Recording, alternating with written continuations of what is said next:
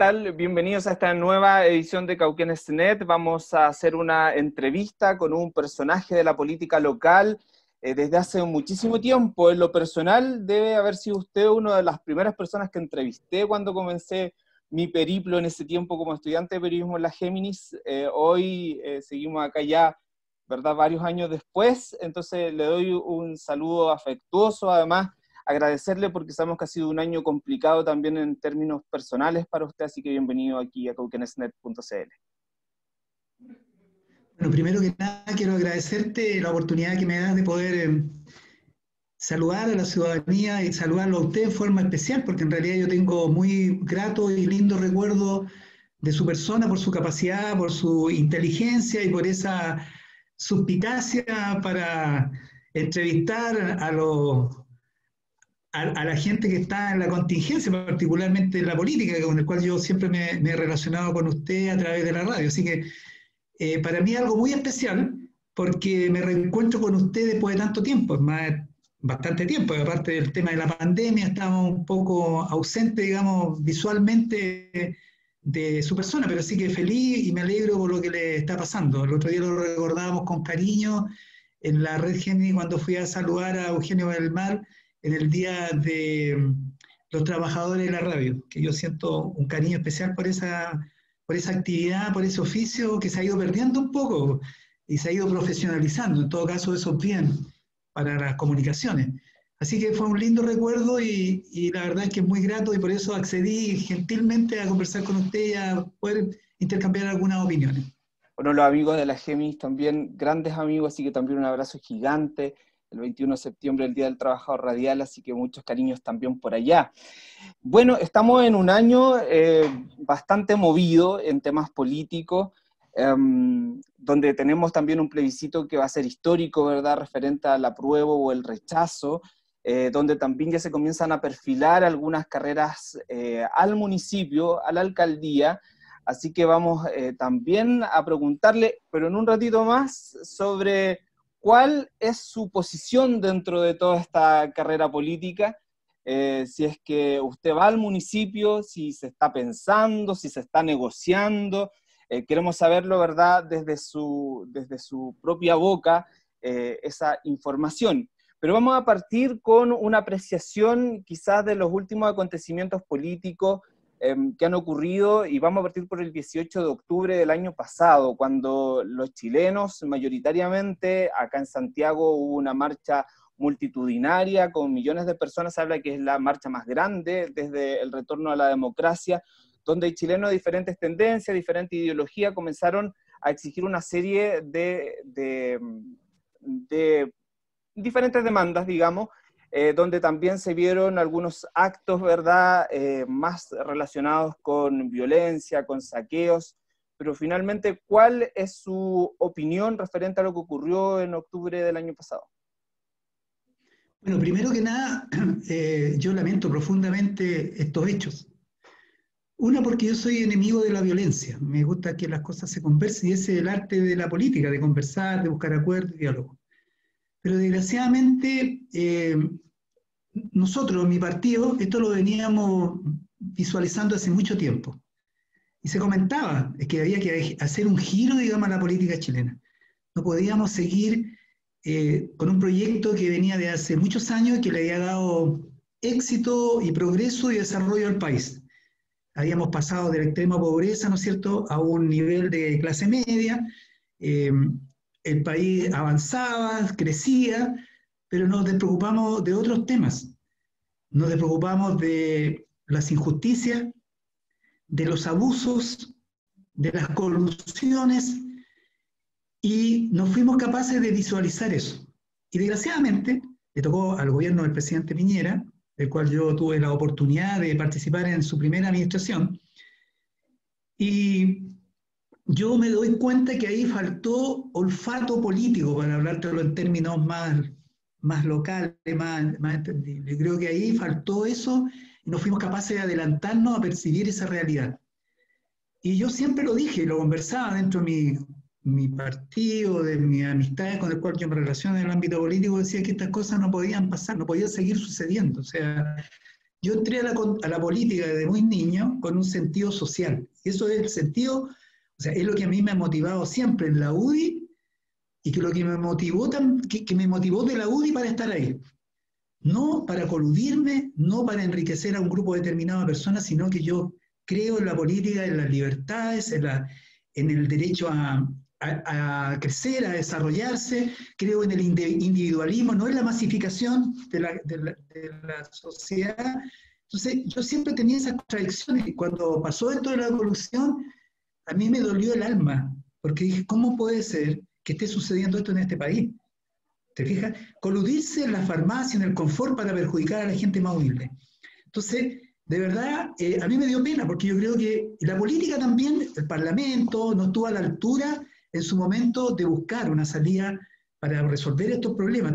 Todos se preocuparon y se, eh, se encerraron en su territorio cegadamente, sin mirar lo que estaba pasando en el país, sin, ¿cómo, no sé, cómo no olfatear cuáles son los conflictos sociales que tiene un país. Y este no es un tema de este gobierno, sino que también viene de mucho tiempo atrás, que no han funcionado algunas instancias o algunas eh, instituciones del país que tienen que ser capaces de ir adelantándose a estos problemas que se generan dentro de una sociedad. Señor y esto García, se viene incubando desde hace muchos años. Señor García, pero... Patricio, esto se viene incubando de, de hace muchos juicio, años. A su juicio... No explosó de un día para otro. ¿Mm? A su juicio, la, Sí. las demandas que tenían las personas son demandas justas, eh, son exageraciones. Sí. ¿Cómo usted ve las demandas? de No, la yo creo que, yo creo que, no, yo creo que las cosas hay que decirlas por su nombre. Yo a veces tenido muchas diferencias con algunos, alguna gente de, de mi sector y todo, pero vuelvo a decir que son demandas justas, ¿no es cierto? No pueden, vuelvo a decirte, o sea, lo damos un referente, los abusos de, de la corrupción.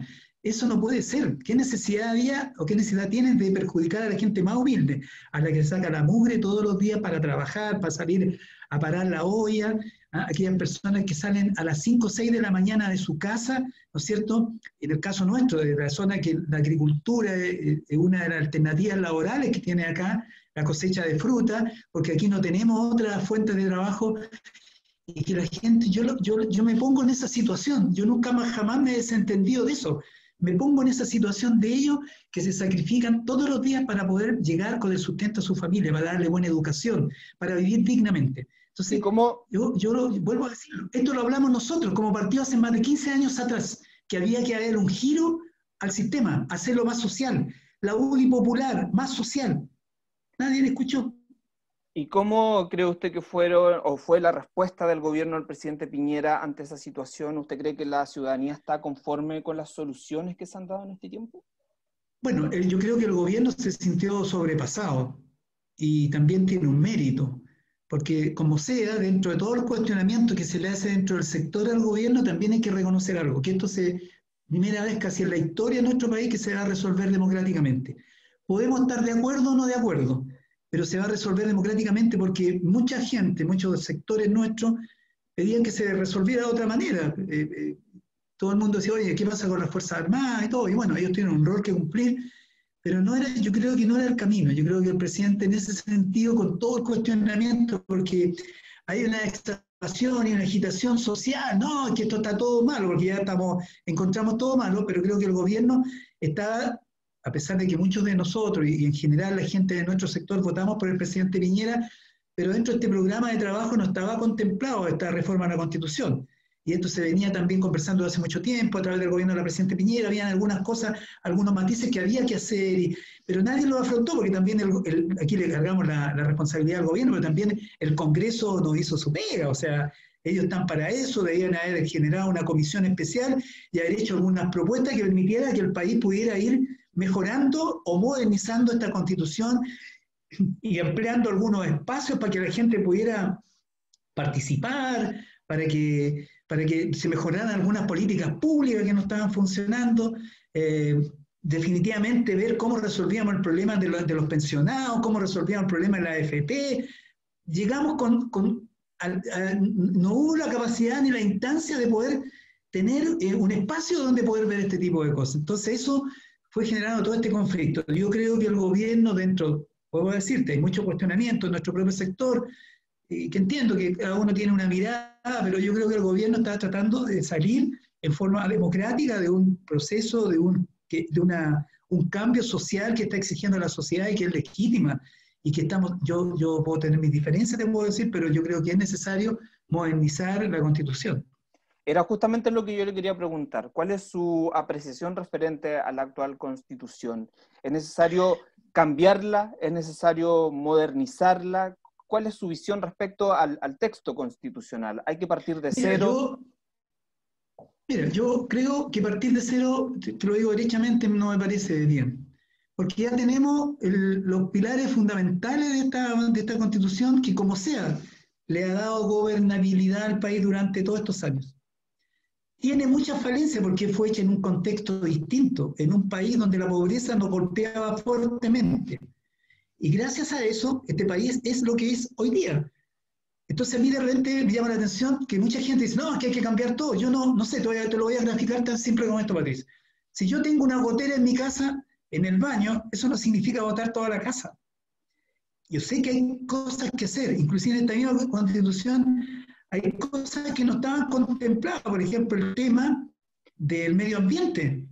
En aquella época, cuando se hizo, se era un tema poco conocido.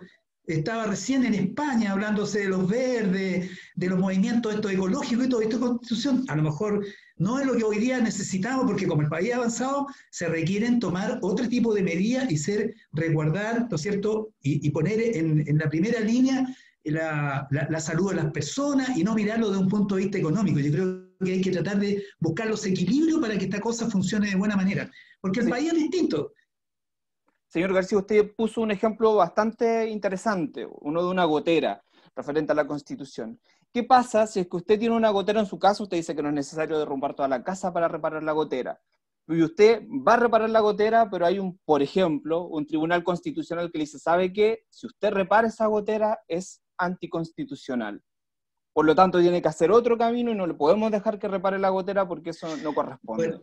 Esas son las trabas finalmente que pone la Constitución. Claro, lo que pasa es que, eh, Patricio, mira, no nos cerremos, acuérdate que esta, esta Constitución fue de modificada y con harta, harta algarabía, con, con mucha chaya y con muchos juegos artificiales en el gobierno del presidente Ricardo Lagos.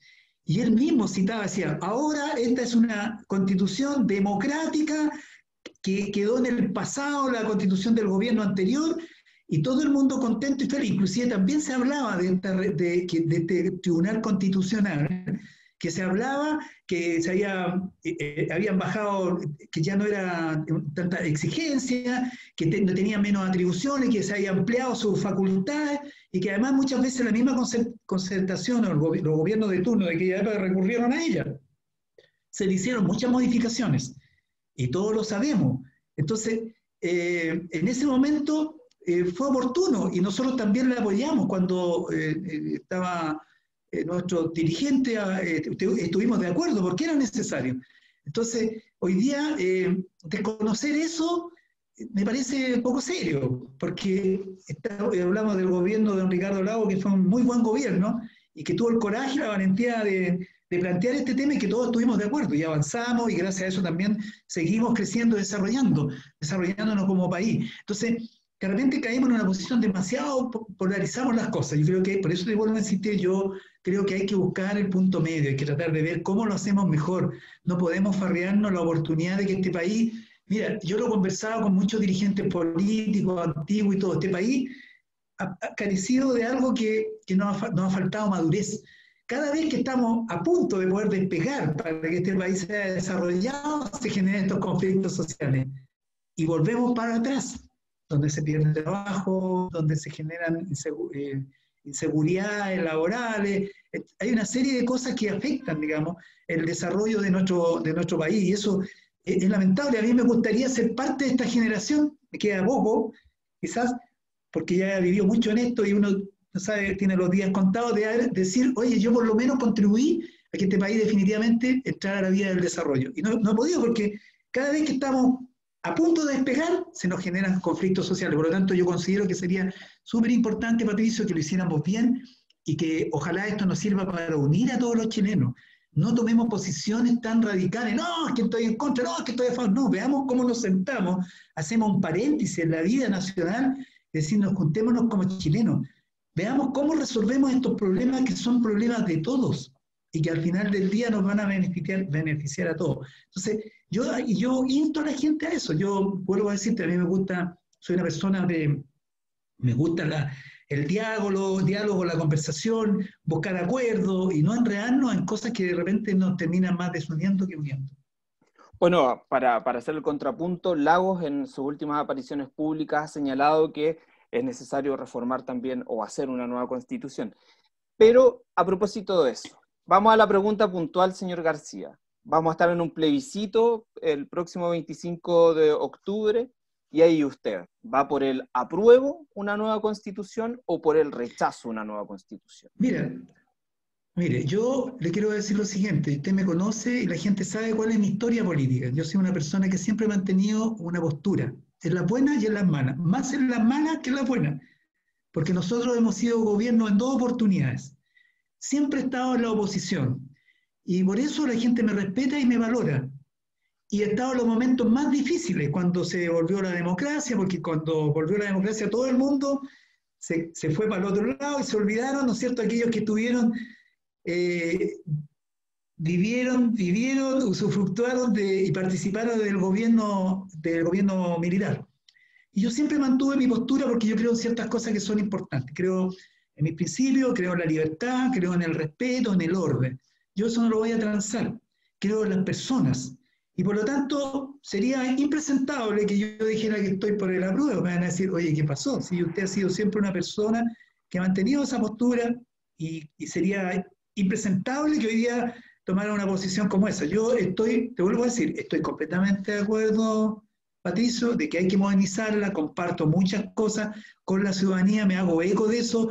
Yo soy un ciudadano que eh, tengo calle, eh, veo las, las injusticias, yo creo que lo que hay que hacer eh, modernizar esta constitución, mejorar lo malo con el único propósito de que podamos seguir creciendo, desarrollándonos con mayores sensibilidad y preocuparnos de la gente que realmente necesita, la gente que, no le ha ido bien o que ha tenido dificultades y que tenemos que tratar de ponerlo siempre cuando uno, yo por lo menos, esa es mi visión, en la política uno siempre tiene que mirar para atrás y no olvidarse de esas personas que no todos tienen las mismas oportunidades, aquellas personas que Patricio, aquellas personas que no tienen la capacidad y el talento para subirse a este carro, al carro del progreso, del desarrollo. O, cuando uno dice, oye, me dejó la micro. No, la micro no lo deja, o uno deja la micro. Y hay gente que de repente no tiene esa capacidad de discernimiento para decir, oye, chuta, ¿cómo aprovecho esta oportunidad? ¿Cómo progreso y avanzo? Pero a pesar de eso, hoy día hay gente que le ha ido bastante bien, hay mucha gente que yo me siento muy feliz de eso y lo vibro con esa, y me emociona cuando veo hoy día mucha gente que nunca soñó con tener un hijo en la universidad o, que, o, muchas de esas personas, familias que son, hay ya un, primer integrante que entra a la universidad, eso para mí es lo más importante porque eso nos enriquece, nos engrandece y también le da la oportunidad que tenga a la gente una mirada mucho más allá de la cotidianidad para construir una mejor sociedad, para construir un mejor país. Entonces, ¿aprueba o rechaza? Yo estoy en el rechazo, Patricio. Oiga, pero el candidato eh, con más posibilidades hasta el momento de su partido, de la UDI, eh, a las presidenciales, que Joaquín Lavín, está por el apruebo. bueno, yo respeto la, respeto la visión, la mirada de Joaquín Lavín. Joaquín Lavín ha sido una persona que ha roto los esquemas tradicionales de la política chilena. Acuérdense cuando partió y la gente se reía y decían que era un payaso. ¿ya? Eh, acuérdense, y tuvimos, estuvo a punto de ganarle a don Ricardo Lago, y, perdió por 30.000 votos, o sea, un voto por mesa. Él siempre ha sido capaz de, pasar esa barrera. Yo lo respeto, lo aprecio, y qué bueno que haya gente que tenga miradas distintas. En los partidos tiene que haber miradas distintas y, y bienvenida la diferencia, porque eso enriquece. ¿Se fija? Eh, nuestro partido es bastante amplio, respetuoso de su, de su diversidad, y yo, bueno, lo, comparto algunas cosas con él, pero yo tengo mi opinión personal con respecto al, tema de la, de, la, de la, Constitución. Y estoy en esa posición y voy a, voy a, ser consecuente conmigo mismo y, y, y con, consecuente con mi principio al cual yo creo fuertemente que nadie se puede negar de que todo el mundo quiere vivir en paz, quiere vivir en orden, hacer las cosas bien, no tratar de imponer por la violencia, que haya respeto, que haya justicia, que las cosas no se, no se polaricen como está hoy día, que toman posiciones tan duras. Yo se lo digo, Patricio, con, con mire, yo viví esta, viví esta experiencia cuando niño, antes que sucediera, y, producto de eso se generó el tema militar en nuestro país. Y lo viví, y me daba pena porque somos todos chilenos y tenemos que querernos y respetarnos. Y tenemos que cuidar nuestras tradiciones democráticas. Nosotros siempre fuimos un país muy respetado por la forma como hacíamos las cosas. Y yo creo que hoy día hay que hacer ese esfuerzo. Ese esfuerzo de, de patriota, de, ver de hacer las cosas bien, es por el bien de todos, por, por, el futuro de nuestros hijos, de nuestros nietos, de los que vienen más adelante, para que heredemos un país con orden, con respeto, con oportunidades para todos, que no haya tanta desigualdad, que no haya tanto abuso. Y eso es lo que quiero yo heredarle a mis futuras generaciones.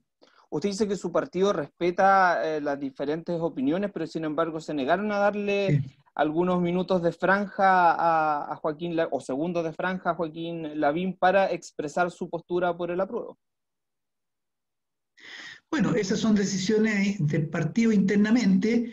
Eh, yo vuelvo a decirle, yo, yo en mi partido, eh, Patricio, bueno, a lo mejor no puede ser una, una situación muy puntual por, la por lo que estamos viviendo hoy día en el país, pero Patricio, yo te digo una cosa, yo, yo, yo soy parte de la fundación de la UDI, nunca he recibido una instrucción, nunca he recibido una orden, eh, y he estado en varios cargos políticos y jamás me han llamado para decirme, oye, toma una postura con respecto a esto. Siempre me han dejado actuar en conciencia y eso lo voy a seguir manteniendo. Y el día que pase eso, yo lo decía, oye, creo que estamos equivocados. Hoy día nuestro partido ha cambiado, hay mucha gente nueva que tiene miradas distintas, posiciones un poco más radicales que otras, pero yo por lo menos no voy a dejar de no ser de, mi partido y perder la esencia, por algunas cosas que son muy puntuales, pero yo lamento que, no, haya, no se le haya dado la oportunidad, lo lamento profundamente, pero porque todos tenemos derecho a tener opiniones y a discrepar en algunos temas, porque si no, eh, estaríamos todos en fila y, a la izquierda o a la derecha, a la derecha izquierda. No, o sea que eh, es necesario tener, generar estas diversidades.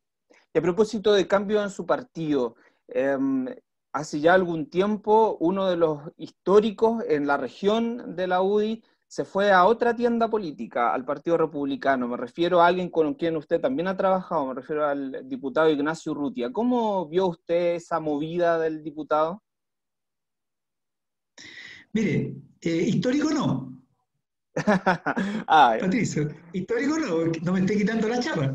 Bueno, pero digamos, digamos, digamos que todas las elecciones que ha ganado ya hace bastante años fueron bajo el alero de la UDI, porque además se, cambió después de la última elección. Sí, no, mire, histórico, bueno, él parte, era parte del partido, ingresó después cuando fue candidato a diputado a nuestro partido, yo lo respeto mucho a Ignacio Rutia, lo, lo respeto porque está en, un partido eh, y que le ha tocado dar la cara, eh, ha sido muy valiente en su posición y bueno, lamentablemente uno tiene la opción de tomar decisiones y irse a donde se sienta más cómodo. Seguramente en la UDI no estaba cómodo y se fue al Partido Republicano, que yo conozco la mayoría de las personas del Partido Republicano, por, por, por su dirigente máximo, y yo respeto eso, lo valoro y tiene coraje y eso, mucha que, hoy día, sobre todo, que todo el mundo anda buscando posiciones acomodadizas con un discurso que le caiga bien a uno y al otro, eh, eso a veces se convierte en, uno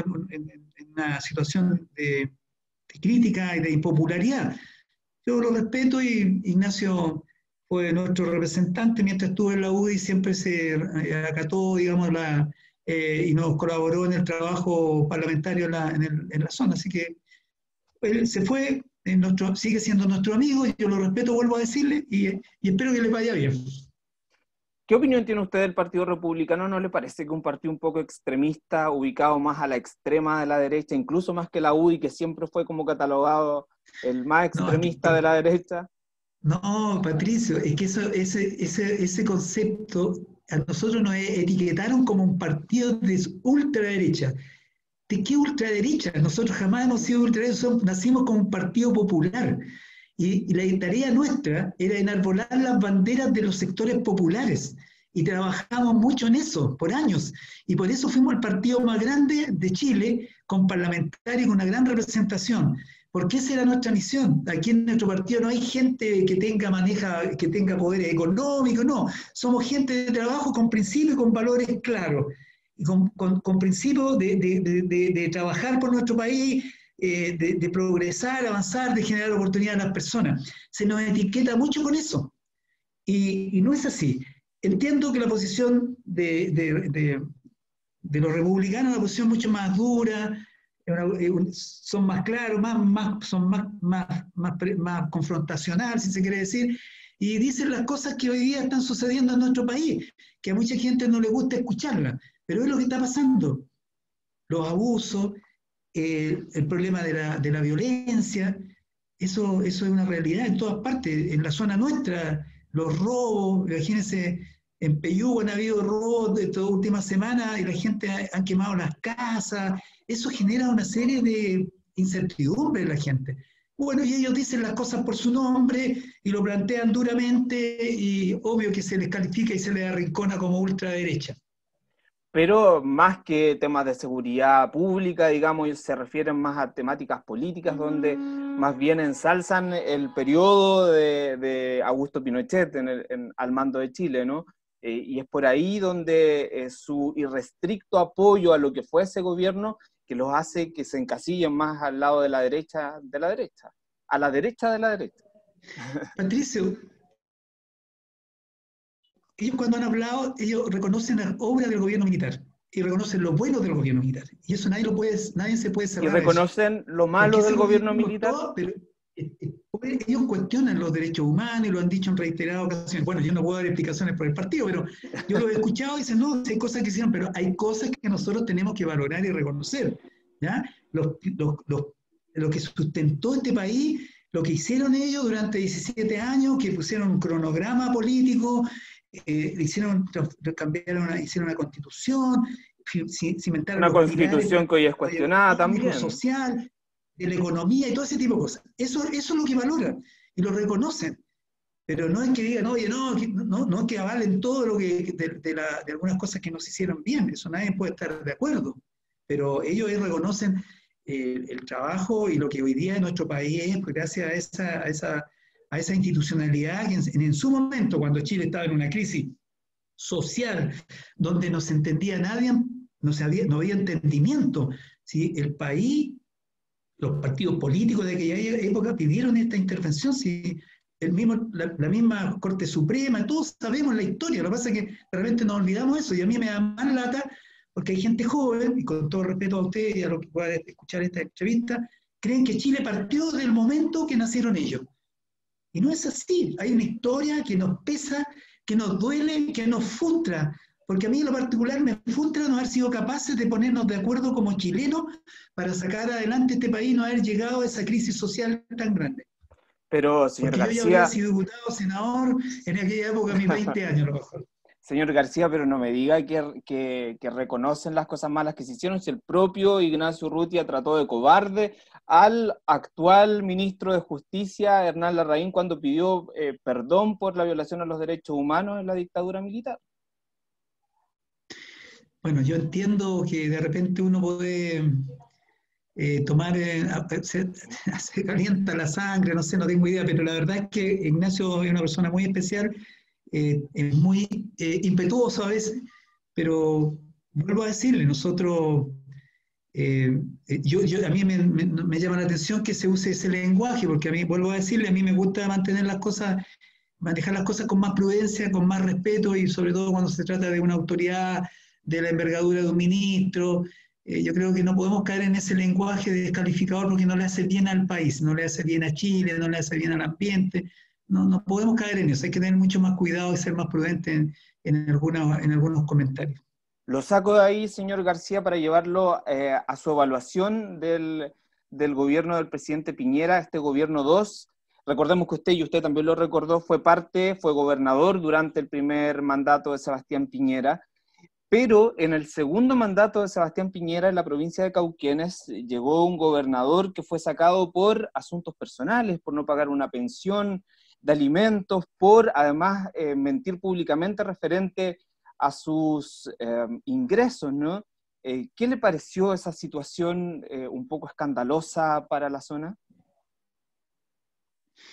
Mire, Patricio, yo desde que asumí este cargo de confianza del gobierno en un momento súper complejo y difícil, siempre he mantenido una posición y esta vez no quiero saltar, no quiero transgredirla, ni quiero faltar a eso. Yo soy muy respetuoso y de las autoridades y me parece que es lo que tenemos que hacer, porque si no nos vamos a perder en el espacio y vamos a ir desvirtuando, eh, denostando la institucionalidad.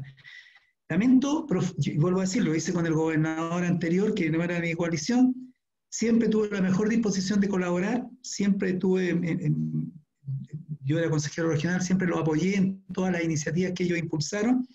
También conversé muchas veces con él sobre algunos temas que, que tenía una visión distinta de la, de la, realidad o del desarrollo de nuestra provincia, eh, porque yo sé lo que significa estar en ese cargo, eh, es complejo, y no voy a opinar de la situación de, de, la persona, de la autoridad que usted me menciona, por respeto a él y también por respeto al cargo. Creo que eh, solo puedo decir que hay que ser más, hay que ser más meticuloso y más cuidadoso en ese tipo de cosas, para los nombramientos, porque son, es complejo. Eh, uno está en la palestra, está en la vitrina y, y es, es, difícil. Yo lamento todo lo que sucedió, no, no, no, vuelvo a decirle, no voy a hacer comentarios de eso por respeto a la autoridad.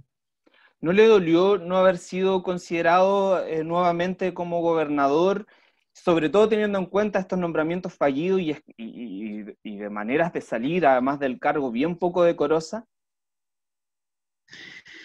Patricio, yo siempre dije y lo mantengo y lo voy a mantener y sostener siempre, yo creo que una autoridad debe estar, en este caso como autoridad provincial, solamente un periodo porque es un cargo muy complejo donde hay mucha responsabilidad, donde uno tiene que trabajar y socializarse con muchas personas y tiene que generar buenas alianzas con todo, porque un cargo de confianza. El primer fusible que se quema en, en, cualquier conflicto o cualquier problema político es el gobernador, porque depende exclusivamente de la confianza del presidente. Entonces yo, a mí cuando me, no que me lo hayan planteado, yo siempre dije, que yo, si el gobierno del presidente Piñera me hubiese llamado o, o si me, se me da esa oportunidad, yo no lo voy a aceptar. Porque, mire, Patricio, yo lo único que quería era entrar a la gobernación de Cauquenes por la puerta y salir por la puerta. Porque yo sé cómo es nuestra comunidad de Cauquenes. En Cauquenes tenemos, somos bien especiales, tenemos una, una idiosincrasia bien especial. No valoramos a nuestra gente. Somos poco respetuosos y poco diferentes con, con, con, con las autoridades no se valora el trabajo. Y resulta que yo dije, mira, yo tuve la suerte y afortunadamente eh, el mismo gobierno me pidió que renunciara tres meses antes para que fuera candidato a consejero regional, porque había sido evaluado por el gobierno y la evaluación pública había sido muy positiva. Y, me pidieron que me, renunciara y participé como consejero regional y a usted le consta y está es público, yo saqué muy buena votación en la provincia de Cauquenes y fui consejero por cuatro años en el primer proceso electoral de consejero, porque en ese tiempo se eligieron democráticamente. Así que es una enriquecedora experiencia y, agradecido del gobierno por eso, y vuelvo a decirlo, yo creo que yo siempre lo dije, yo no, no, no, no volvería a la gobernación porque es un trabajo, es, es un cargo de mucha responsabilidad, y uno anda muy intencionado, y en el caso particular mío, yo lo único que quería demostrarle a Cauquienes, a la gente que tenía las competencias y la capacidad para desempeñar esa, ese alto cargo de responsabilidad. Bueno, usted ha sido concejal de, de Cauquenes, fue consejero regional, fue gobernador. Y yéndonos a materias ya más locales, a, a temas municipales, ¿cómo evalúa usted también uno de los concejales que estuvo durante muchísimo tiempo en, en, el municipio. ¿Cómo evalúa usted el desempeño de los actuales concejales eh, de la comuna de Cauquenes en sus cargos? ¿Han sido buenos concejales? ¿Han efectivamente cumplido el rol de, de, que, que el cargo impone? Bueno, mira, primero que nada, Patricio, los concejales tienen muy poca facultad. Y de repente nos perdemos en eso. Concejales tienen tres funciones. Fiscalizar. Es. Sí, fiscalizar, ¿no es cierto? Fiscalizar, aprobar y rechazar el presupuesto municipal.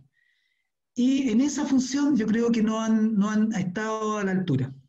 Creo que no, no han hecho sus funciones. Yo sé que no, la fiscalización no es individual, tiene que haber dos o tres concejales que hagan eh, la, la, presentación al alcalde y todo. Yo creo que en eso eh, han carecido de esa, de, de, de esa, de, de, esa función. Y, y, y, yo lo he conversado con ellos, les tengo mucho respeto, yo, yo quiero mucho y aprecio la labor que hacen el mundo municipal. Yo, como bien citado ustedes, fui muchas veces concejal, eh, tuve siempre la dirigencia de los concejales a nivel regional y, y también a nivel nacional. Entonces, eh, yo creo que uno tiene que tratar de dignificar su cargo, de hacer las cosas bien, porque a uno le da a la ciudadanía ese mandato para poder representarlo. Entonces, uno no es que quiera faltar el respeto a la autoridad o quiera generar conflictos, sino que hacer su trabajo para el cual a uno lo remunera, le entregan una remuneración que consiste en una dieta, que no es una gran cantidad de dinero, pero uno tiene que justificar ese tipo de cosas. Entonces yo considero que aquí hemos tenido falencias en eso. Ha faltado una mayor fiscalización y, y creo que esa tarea no, no, no, no, no la, la, han hecho derechamente. Porque yo, por ejemplo... Lo, yo lo he dicho. Yo, por ejemplo, recuerdo al concejal en ese entonces, Guillermo García, que cada vez que tenía una opinión referente a una temática municipal no tenía peros en dar su opinión en el medio que se lo pidiera, y ahí estaba expresando su punto de vista, si es que lo encontraba positivo o negativo. La mayoría de las veces en ese entonces usted lo encontraba negativo, digamos, pero, pero digamos sí. que usted efectivamente cumplía ese rol, ¿no? De, de decir las cosas que le parecían y las cosas que no.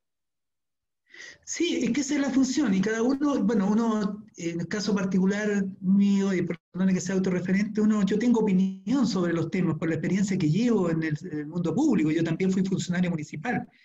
Eh, yo tengo una mirada de lo que se puede hacer en esta ciudad, lo que se puede mejorar. Entonces, eh, mi visión era esa, porque hoy día hay mucha gente, yo lo respeto, valoro, tiene sus méritos, nadie está diciendo lo contrario pero yo conozco, el mundo municipal por, por, por mi experiencia laboral, entonces eh, trabajé con muchos alcaldes y tuve la oportunidad también de empaparme de los problemas que tiene Cauquenes. Y, y, eso me da cierta autoridad para plantear los temas y con conocimiento.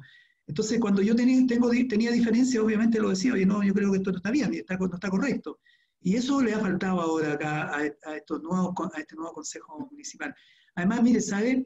Eh, en nuestro consejo, eh, sin denostar ni descalificar el consejo, los consejos antiguos, eh, estaba, era más diverso y también había gente que, que, conocía, tenía mucha experiencia política. Por ejemplo, estaba don José Villanueva, que fue alcalde de Cauquenes, don Mario Luna fue alcalde de Cauquenes, don Héctor Landero, que fue alcalde de Cauquenes, don Aquiles Rodríguez, alcalde de Cauquenes, médico, estaba don Juan León Casas Cordero, concejal, y estaba yo. Entonces, había un nivel de discusión eh, importante, interesante. Entonces uno tenía que tener y estaba obligado a estudiar, a prepararse. Después tuvo don Guillermo Badía de alcalde, que fue dos veces gobernador de Cauquenes. Eh, ser gobernador de Cauquenes en toda oportunidad no es menor, o sea, una persona que tenía, dentro, tenía sus, sus capacidades y tenía conocimiento del territorio y uno tenía que argumentar las cosas.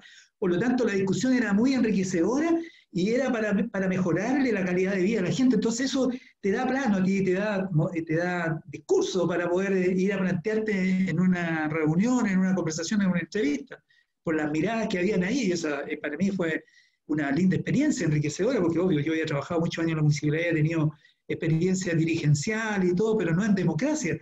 Y ahí aprendí a relacionarme también con, con la diversidad. Bueno, y entonces ahora le hago la pregunta derechamente, quizás la pregunta que mucha gente que está viendo esta entrevista en la casa se está preguntando también. ¿Está dentro de sus eh, pretensiones presentarse a alcalde en las próximas elecciones? Mire, Patricio, yo siempre he estado disponible para todo y he dado de testimonio de mi trabajo político siempre. Yo renuncié de funcionario municipal para ser concejal, 15 años de trabajo. Renuncié de concejal para ser gobernador de Cauquenes. Renuncié de consejero regional para ayudar para ayudar al alcalde para que pudiera hacer, recuperar el, el sillón municipal, que lo habíamos perdido. Renuncié de gobernador para ser consejero regional. Y hoy día, obviamente, si existe el legítimo derecho de postularme como alcalde de Cauquenes, que me lo pidió expresamente la UDI, y no voy a renunciar a ese derecho. Y hoy día no estoy perjudicando a nadie, porque hoy día la ley, ¿no es cierto?, esta nueva ley que salió, los alcaldes no pueden ir a la reelección. Por lo tanto, está el espacio abierto para que una persona pueda postular a la alcaldía de Cauquenes. Y en eso la UDI me lo ha pedido, me han pedido los parlamentarios, me ha pedido el, senador, los militantes de la UDI, que encabece y lidere este nuevo proceso. Y le quiero ser súper honesto, Patricia, y con la ciudadanía que me están escuchando. Mi sueño siempre ha sido ser alcalde de Cauquenes. ¿Sabe por qué? Porque creo que, se, que juntos, con toda la comunidad, en un trabajo colectivo, sin prejuicio, mirando cómo, vuelvo a decir, le hacemos un paréntesis para que este pueblo pueda recuperar muchas cosas y darle más oportunidades a nuestra gente, que se genere espacios de, de participación, de opinión, donde podamos ver cómo, cómo podemos eh, en esta nueva etapa de, de, y proceso que está viviendo Chile, podemos tomarlo como una oportunidad. Y hay que aprovechar esta oportunidad, porque nos vamos a, en el fondo estamos, vamos a estar todos con, con la disposición, creo yo, de que todo lo que pase en este, este contexto político a nivel nacional, después que pasen todas estas tensiones de del cambio de la constitución y toda la gente va a entrar en una, posición más constructiva, más altruista, más solidaria. Y yo me siento con esas capacidades, esas competencias, Patricio, perdona que sea autorreferente, cuando yo estuve de gobernador, trabajamos con todo el mundo, con todas las personas, todas las personas fueron a ofrecer su apoyo, su colaboración, en qué podemos ayudar, porque era un momento especial por lo que está, hayamos vivido después del terremoto. Yo creo que esto también es un momento especial donde va a haber una reforma constitucional, va a haber un ambiente menos tóxico, menos confrontacional. Yo creo que ahí hay que tener esa capacidad de lograr que la gente levante la cabeza, miremos el futuro, qué podemos hacer en Cauquenes. Y por eso yo hoy día estoy muy entusiasmado con el apoyo de nuestro partido. Estamos en este proceso de elegir el candidato por Cauquenes y estoy dispuesto a hacerlo con mucha humildad, con mucho cariño y con, mire, con la mejor disposición para hacer las cosas bien. Eso, eso es lo que me inspira y me motiva. Ahora, desde el municipio, desde el propio alcalde, ¿no? Se plantea otra opción como continuidad de su mandato municipal, que está en su hijo menor, Jorge Muñoz. ¿Qué le parece eh, esa opción?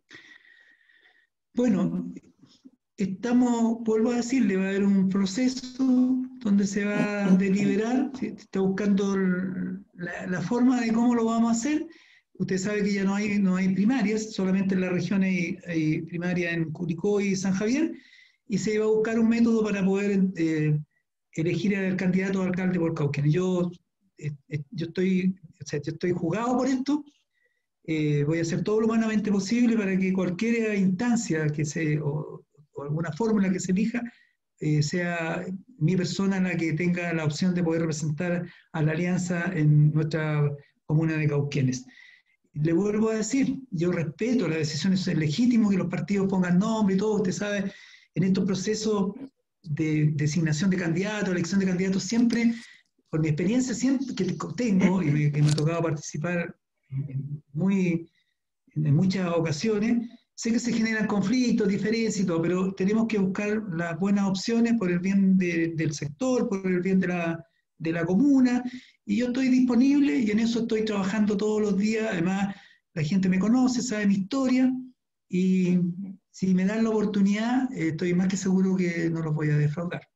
¿Por qué sería una mejor opción a la alcaldía de Cauquenes la suya que la del hijo del alcalde, por ejemplo, que la de Jorge Muñoz. Yo no, no, no, desperezco su capacidad ni su competencia, pero yo, eh, yo eh, la gente reconoce, he desempeñado cargos políticos, mi, mi currículo es un currículo que está basado fundamentalmente en mi trabajo con el servicio público. Yo lo respeto y valoro que tenga interés, me parece bien que haya gente joven, y yo siempre he dicho eso, lo he dicho muchas veces y motivado a los jóvenes que entren en la política. Pero creo que hay que, hay que caminar un poco, conocer vida en la calle, eh, conocer las realidades, eh, y yo vuelvo a decirle, me interesa y me gustaría que mucha gente joven como él tengan interés de incursionar en el servicio público.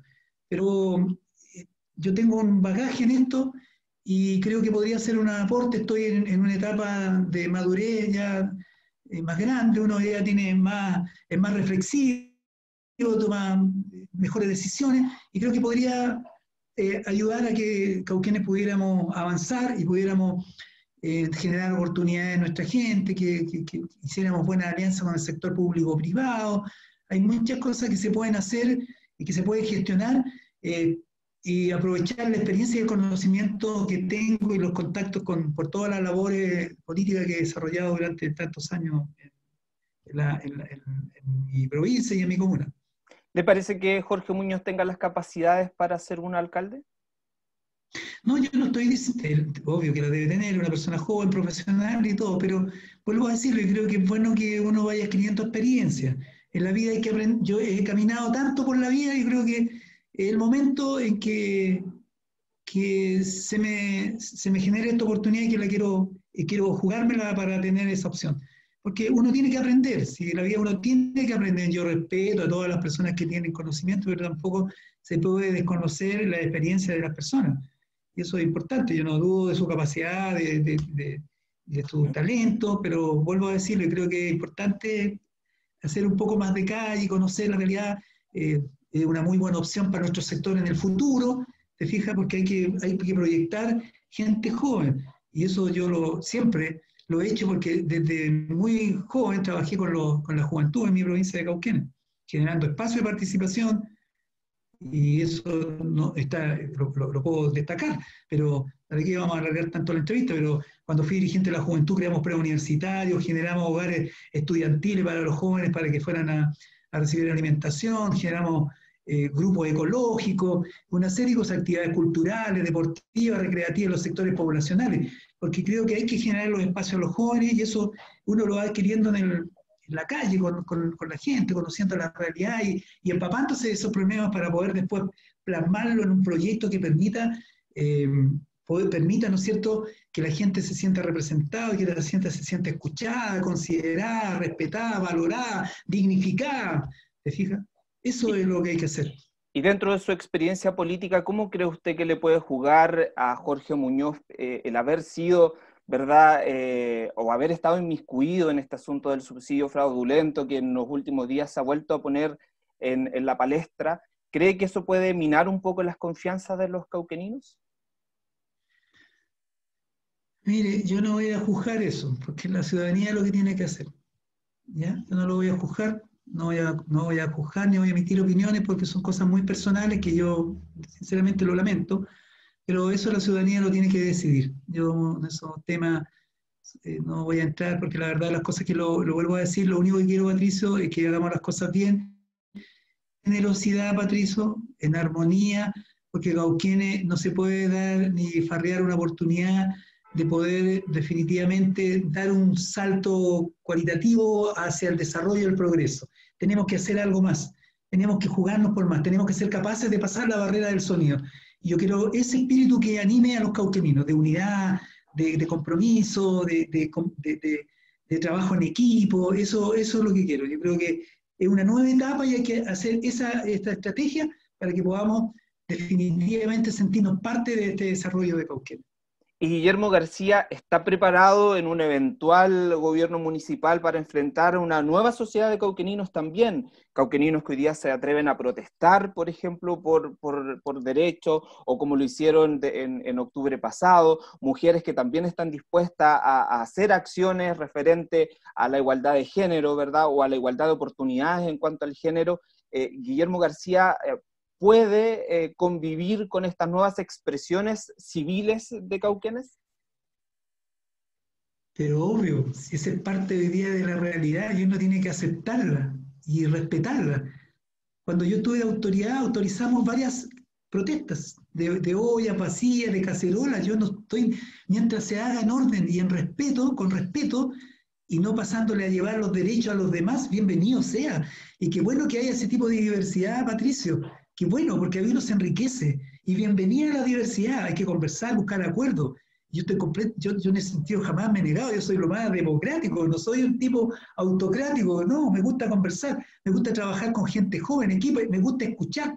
Yo aprendo todos los días con, con las personas que me relaciono, los escucho y, y lo, lo, analizo con la gente que tiene eh, conocimiento en los temas, les pido opinión. Yo en la gobernación, y perdone que suena como yo, yo, la mayoría de la gente joven y tomábamos decisiones y todos opinaban y tomábamos las decisiones y trabajábamos en equipo, hacíamos reuniones de trabajo con los jefes de servicio, con todo. Me gusta escuchar, porque las decisiones, obvio, al final muchas veces uno tiene que tomarlas porque son decisiones complejas, difíciles, pero uno, y cuando las toma, cuando uno tiene una mirada amplia de todo, en la intimidad, en la soledad de, de tu, tu conciencia, dice, ya, esto es lo mejor.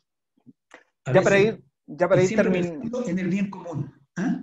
Ya para ir terminando esta entrevista, señor García, hay personas que sin duda ven en usted una opción, ¿verdad?, para llegar al municipio.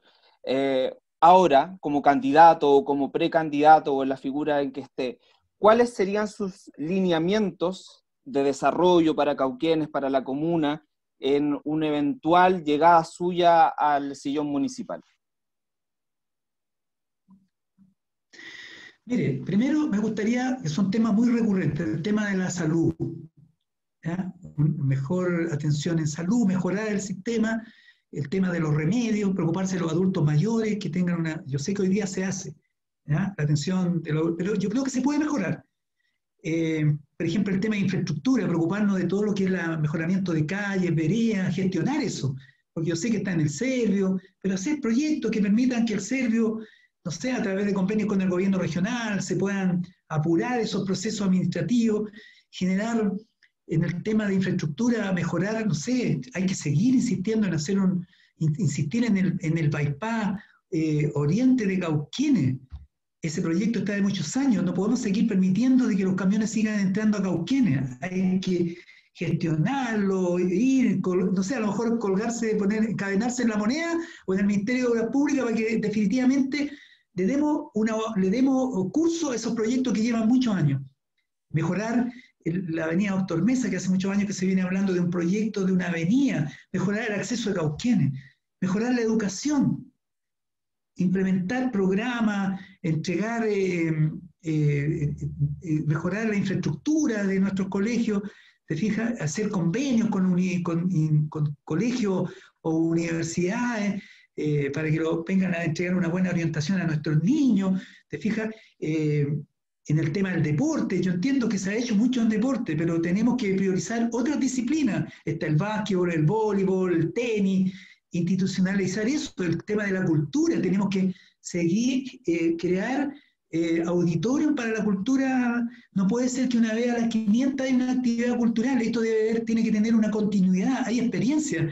Teatro regional, teatro de San Javier, teatro de Linares, que están permanentemente en actividad cultural, teatro de Parral ¿ya? Tienen actividades culturales, se fija, ese tipo de cosas, en el tema privado, generar oportunidades, alianzas con el sector eh, privado. Aquí han, llegado una serie de viñas, de empresas, y hay que contactarse con ellos, decirle, pedirle que hagamos una alianza estratégica, que nosotros qué podemos apoyar y ayudar, cómo podemos mejorar la calidad de vida de la gente, de su trabajo, ¿ya? Porque esas personas que están recogiendo fruta en un, no sé, un par de años más, no van a poder caminar por el dolor a la columna, por problemas de, de, de, impedimento físico. Entonces hay que ir mirando cómo vamos enfrentando esos nuevos desafíos, particularmente en el tema, vuelvo a decir, en el tema del deporte. El deporte aquí en Cauquenes, claro, se hace fútbol, tenemos, está trabajando en un estadio y todo, pero tenemos que ampliar las canchas deportivas, mejorar los recintos deportivos, eh, eh, fomentar la otra disciplina, vuelvo a decirle, que hay que hacerlo crear a lo mejor un departamento de cultura que se preocupe de los adultos mayores, que tengamos un lugar de encuentro para los adultos mayores donde puedan ir a compartir, a sociabilizarse, a conversar, lo que sea, a leer el diario, que no sea la plaza en el, en el invierno, ¿te fijas? Ese tipo de cosas, cosas nuevas que, que no son, no las he descubierto, no, la, una cuestión que, haya, que haya descubierto yo, con la experiencia, con los conocimientos, con lo que uno ha viajado, ha conocido y ha visto, son cosas que son que se pueden aplicar a la realidad local. Y en esa es la tarea, yo creo que lo podemos hacer, yo tengo fe en eso, le creo, creo en Dios que estas cosas se pueden hacer. Y creo que Cauquenes puede dar un paso más para salir de este letargo. estamos, no sé, no, veo que hay un ánimo en una ciudad alegre o preocuparse de la ornamentación de la ciudad, de pequeñas cosas que la hacen grande en un momento determinado. Bueno, conversamos con Guillermo García González, ex concejal, ex consejero regional, ex gobernador de Cauquenes y actualmente perfilándose entonces también como candidato a alcalde de la comuna de Cauquenes. Señor García, un gusto haber conversado nuevamente con usted eh, y bueno, yo creo que entonces vamos a seguir en contacto, ¿no? Viendo cómo avanza su, su ruta, su camino hacia la municipalidad de Cauquenes, porque además también se eh, vienen otros contendores desde las otras veredas políticas, em, por lo tanto se viene un año agitado de plebiscitos, de elecciones. No sé si usted quiere decir algunas palabras para, despedirse. Bueno, primero que nada agradecerle esta oportunidad que usted me da de poder expresar y, conocer también a aquellas personas que a lo mejor no me conocen así en esta faceta de ver cuál es mi opinión, mi mirada, eh, mi mirada política, mi visión de ciudad, mi trabajo que he realizado durante todos estos años. Me, me, agrada mucho que la gente me conozca en, e, en, este aspecto y agradecerle porque esta es una linda y gran vitrina para llegar a muchos sectores de nuestra sociedad. Y decirle que yo estoy jugado, eh, insisto, esto no lo digo con soberbia ni arrogancia ni nada, solo quiero estar y tener la oportunidad que me pueda dar la ciudadanía en estas elecciones municipales para seguir sirviendo a mi ciudad con el mejor espíritu, con el mejor ánimo, con la humildad, que mucha gente me conoce y espero que Dios me acompañe.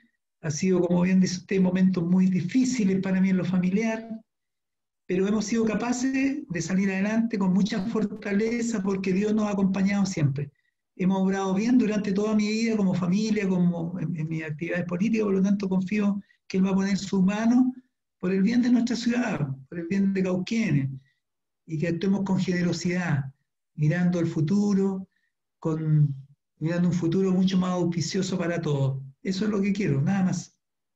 Muy bien, señor García, le agradecemos haber estado con nosotros y también le agradecemos a todos quienes estuvieron conectados con cauquenesnet.cl. La entrevista también luego quedará disponible en nuestras diferentes plataformas. Será hasta una próxima oportunidad.